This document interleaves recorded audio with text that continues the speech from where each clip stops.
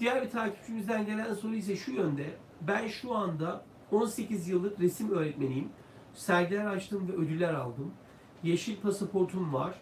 Amerika vizesi için, Ovan vizesi için vizesi mi yoksa turist vizesi mi almalıyım diye bu takipçimiz soruyor. Şunu söyleyebilirim bu değerli takipçimize. Sizin Amerika'ya ne amaçla geleceğinize göre değişecek vize türünüz. Eğer siz diyorsanız ben geçici amaçla geleceğim, işte burada bir sergiye katılacağım ya da kısa süreli gezmek amacıyla geleceğim diyorsanız o zaman siz turist vizesine başvuru yapmanızda fayda var.